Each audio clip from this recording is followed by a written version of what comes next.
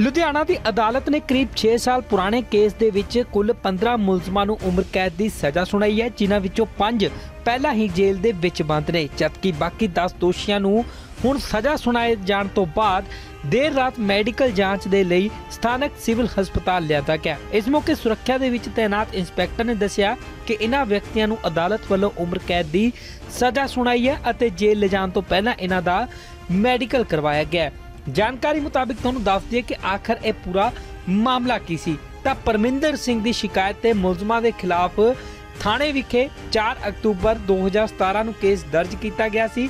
ਸ਼ਿਕਾਇਤਕਰਤਾ ਮੁਤਾਬਿਕ ਗੁਰਪਾਲ ਸਿੰਘ, ਜੋ ਕਿ ਆਪਣੀ ਫੈਕਟਰੀ ਵਿੱਚ ਰਹਿੰਦਾ ਸੀ, ਇਸ ਦੌਰਾਨ 3 ਅਕਤੂਬਰ 2017 ਦੀ ਰਾਤ ਨੂੰ 10 ਵਜੇ ਦੇ ਕਰੀਬ ਕੁਝ ਕੁਝ ਵਿਅਕਤੀ ਤੇਜ਼ਧਾਰ ਹਥਿਆਰਾਂ ਦੇ ਨਾਲ ਜ਼ਬਰਦਸਤੀ ਉਸ ਦੀ ਫੈਕਟਰੀ ਦੇ ਅੰਦਰ ਦਾਖਲ ਹੋ ਗਏ। ਉਸ ਸਮੇਂ ਫੈਕਟਰੀ ਵਿੱਚ ਉਸ ਦਾ ਵੱਡਾ ਭਰਾ ਗੁਰਚਰਨ ਸਿੰਘ ਅਤੇ ਛੋਟਾ ਭਰਾ ਗੁਰਪਾਲ ਸਿੰਘ ਉਰਫ ਜੀਤੀ ਤੇ ਹੋਰ ਮੌਜੂਦ ਸਨ। ਤਾਂ ਮੁਲਜ਼ਮਾਂ ਨੇ ਉਹਨਾਂ ਦੇ ਉੱਤੇ ਤੇਜ਼ਧਾਰ ਹਥਿਆਰਾਂ ਦੇ ਨਾਲ ਹਮਲਾ ਕਰ ਦਿੱਤਾ, ਜਿਸ ਦੇ ਕਾਰਨ ਉਸ ਦੇ ਭਰਾ ਗੁਰਪਾਲ ਸਿੰਘ ਦੇ ਸਿਰ ਅਤੇ ਗਰਦਨ ਦੇ ਵਿੱਚ ਕਾਫੀ ਗੰਭੀਰ ਸੱਟਾਂ ਲੱਗੀਆਂ ਸੀ ਤੇ ਉਸ ਨੂੰ ਹਸਪਤਾਲ ਦੇ ਵਿੱਚ ਦਾਖਲ ਕਰਵਾਇਆ ਗਿਆ ਸੀ। 2017 ਦੇ ਵਿੱਚ ਬਦਮਾਸ਼ਾਂ ਨੇ ਦੱਸ ਦਈਏ ਕਿ ਫੈਕਟਰੀ ਮਾਲਕ ਗੁਰਪਾਲ ਸਿੰਘ ਦਾ ਕਤਲ ਕੀਤਾ ਸੀ ਤੇ ਸਿਰ ਦੇ ਵਿੱਚ ਹਥੋੜੇ ਨਾਲ ਵਾਰ ਕਰਕੇ ਉਸ ਨੂੰ ਮੌਤ ਦੇ ਘਾਟ ਉਤਾਰਿਆ ਗਿਆ ਸੀ, ਜਿਸ ਤੋਂ ਬਾਅਦ ਥਾਣਾ ਡਾਬਾ 'ਚ 4 ਅਕਤੂਬਰ 2017 ਨੂੰ ਇਹ ਕੇਸ ਦਰਜ ਹੋਇਆ ਸੀ ਤੇ ਹੁਣ 6 ਸਾਲ ਪੁਰਾਣੇ ਮਾਮਲੇ ਦੇ ਵਿੱਚ ਅਦਾਲਤ ਨੇ 15 ਦੋਸ਼ੀਆਂ ਨੂੰ ਉਮਰ ਕੈਦ ਦੀ ਸਜ਼ਾ ਸੁਣਾਈ ਹੈ।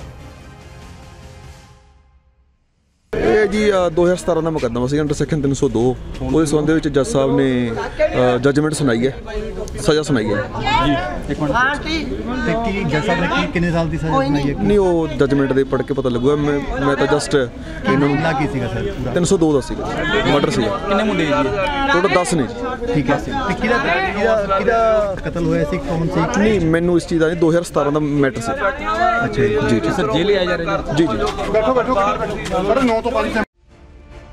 ਲੁਧਿਆਣਾ ਦੀ ਅਦਾਲਤ ਨੇ ਕਰੀਬ 6 ਸਾਲ ਪੁਰਾਣੇ ਕੇਸ ਦੇ ਵਿੱਚ ਕੁੱਲ 15 ਮੁਲਜ਼ਮਾਂ ਨੂੰ ਉਮਰ ਕੈਦ ਦੀ ਸਜ਼ਾ ਸੁਣਾਈ ਹੈ, ਜਿਨ੍ਹਾਂ ਵਿੱਚੋਂ 5 ਪਹਿਲਾਂ ਹੀ ਜੇਲ੍ਹ ਦੇ ਵਿੱਚ ਬੰਦ ਨੇ, ਜਦਕਿ ਬਾਕੀ 10 ਦੋਸ਼ੀਆਂ ਨੂੰ ਹੁਣ ਸਜ਼ਾ ਸੁਣਾਏ ਜਾਣ ਤੋਂ ਬਾਅਦ ਦੇਰ ਰਾਤ ਮੈਡੀਕਲ ਜਾਂਚ ਦੇ ਲਈ ਸਥਾਨਕ ਸਿਵਲ ਹਸਪਤਾਲ ਲਿਆਂਦਾ ਗਿਆ। ਇਸ ਮੌਕੇ ਸੁਰੱਖਿਆ ਦੇ ਵਿੱਚ ਤਾਇਨਾਤ ਇੰਸਪੈਕਟਰ ਨੇ ਦੱਸਿਆ ਕਿ ਇਹਨਾਂ ਵਿਅਕਤੀਆਂ ਨੂੰ ਅਦਾਲਤ ਵੱਲੋਂ ਉਮਰ ਕੈਦ ਦੀ ਸਜ਼ਾ ਸੁਣਾਈ ਹੈ ਅਤੇ ਜੇਲ੍ਹ ਲਿਜਾਣ ਤੋਂ ਪਹਿਲਾਂ ਇਹਨਾਂ ਦਾ ਮੈਡੀਕਲ ਕਰਵਾਇਆ ਗਿਆ ਜਾਣਕਾਰੀ ਮੁਤਾਬਿਕ ਤੁਹਾਨੂੰ ਦੱਸ ਦਈਏ ਕਿ ਆਖਰ ਇਹ ਪੂਰਾ ਮਾਮਲਾ ਕੀ ਸੀ? ਤਾਂ ਪਰਮਿੰਦਰ ਸਿੰਘ ਦੀ ਸ਼ਿਕਾਇਤ ਤੇ ਮੁਲਜ਼ਮਾਂ ਦੇ ਖਿਲਾਫ ਥਾਣੇ ਵਿਖੇ 4 ਅਕਤੂਬਰ 2017 ਨੂੰ ਕੇਸ ਦਰਜ ਕੀਤਾ ਗਿਆ ਸੀ।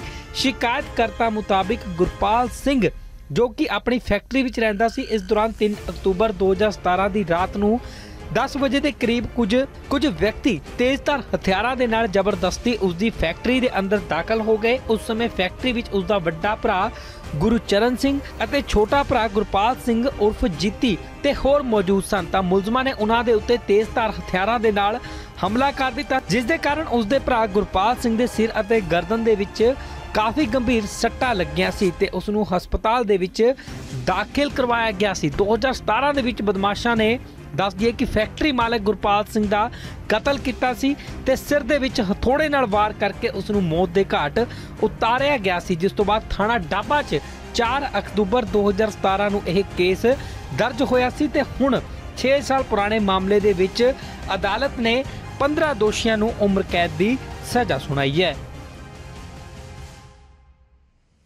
ਇਹ ਜੀ ਅ, 2017 ਦਾ ਮੁਕੱਦਮਾ ਸੀ ਅੰਡਰ ਸੈਕਸ਼ਨ 302 ਉਹਦੇ ਸੰਬੰਧ ਦੇ ਵਿੱਚ ਜੱਜ ਸਾਹਿਬ ਨੇ ਜੱਜਮੈਂਟ ਸੁਣਾਈ ਹੈ। ਸਜ਼ਾ ਸੁਣਾਈ ਹੈ। ਇੱਕ ਮਿੰਟ। ਤੇ ਕੀ ਜੱਜ ਸਾਹਿਬ ਨੇ ਕੀ ਕਿੰਨੇ ਸਾਲ ਦੀ ਸਜ਼ਾ ਸੁਣਾਈ ਹੈ? ਨਹੀਂ ਉਹ ਜੱਜਮੈਂਟ ਦੇ ਪੜ੍ਹ ਕੇ ਪਤਾ ਲੱਗੂਗਾ। ਮੈਂ ਮੈਂ ਤਾਂ ਜਸਟ ਇਹਨਾਂ ਨੂੰ ਮਾਮਲਾ ਕੀ ਸੀਗਾ ਸਰ? ਪੂਰਾ 302 ਦਾ ਸੀਗਾ। ਮਰਡਰ ਸੀਗਾ। ਕਿੰਨੇ ਮੁੰਡੇ ਜੀ? ਟੋਟਲ 10 ਨੇ। ਜੀ ਠੀਕ ਹੈ। ਤੇ ਕਿਹਦਾ ਕਿਹਦਾ ਕਿਹਦਾ ਕਤਲ ਹੋਇਆ ਸੀ? ਕੌਣ ਸੀ? ਨਹੀਂ ਮੈਨੂੰ ਇਸ ਚੀਜ਼ ਦਾ ਨਹੀਂ 2017 ਦਾ ਮੈਟਰ ਸੀ। ਅੱਛਾ ਜੀ। ਜੀ ਜੀ। ਸਰ ਜੇਲ੍ਹ ਆ ਜਾ ਰਹੇ ਜੀ। ਜੀ